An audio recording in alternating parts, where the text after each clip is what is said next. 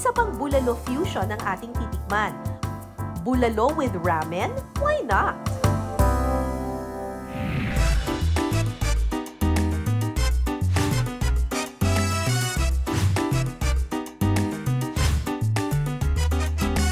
Kung may pambatong sabaw ang Pilipinas tulad ng bulalo, ang Japan, meron din silang pambatong sabaw, Japanese ramen. Ang ipapakita niya sa atin ngayon ay pagkukombine ng pambato ng Pilipinas at pambato ng Japan. Bulalo ramen.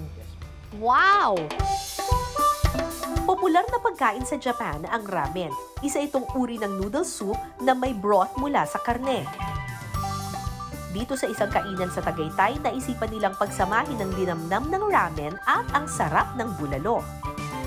Pinakukuluan nila yung, yung mga buto-buto. Tapos, after a while, after 12 Yes. hours, talagang namuti-muti Mm, na yes, siya. Very creamy na siya. So, imagine nyo yung creamy na Japanese ramen na broth, pagsasama natin sa bulalo. Yes. Wow, iba to. O, sige po, chef, gawin na natin.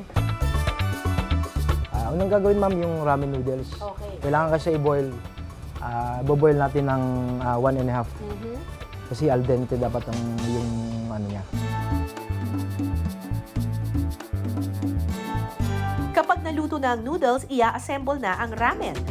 Pinagsama sa iisang bowl ang baka na pinakuluan ng labing dalawang oras. Ilalagay na rin ang mais, pechay, nilagang itlog, fried garlic at sibuyas.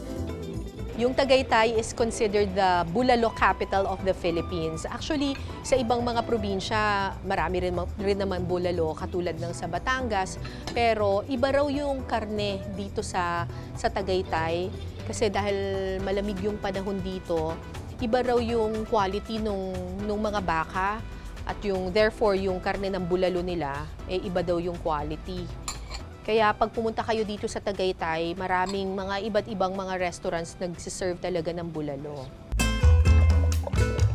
Ibubuhos na rin ang broth na tinimplahan ng Japanese spices. Ah, ito na yung pinagpakuluan ng buto-buto, tapos nilagyan na ng sake wine, at saka ng iba't iba pang mga pampalasa, dashi, ramen powder.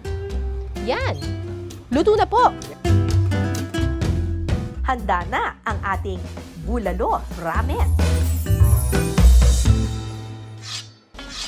Mamimisin natin yung mismong meat. Ay, Diyos ko. Ano ba tong bulalo na to? Grabe yung bulalo nila. Hindi mo nangunguyain, lulunukin mo na lang. Super lambot! Wow! Mm. Yung broth itself, ano siya, eh, bulalo siya pero ibang level eh. Para siyang ni-level up eh. Kasi may, may alat siya na kakaiba eh. I think yun yung nilagay nilang Japanese na mga flavoring. Pero ang champion talaga dito, yung mismong karne. Yung mismong karne, hindi nyo na po kailangan ngumuya. Lulunukin nyo na lang siya sa sobrang pagka-tender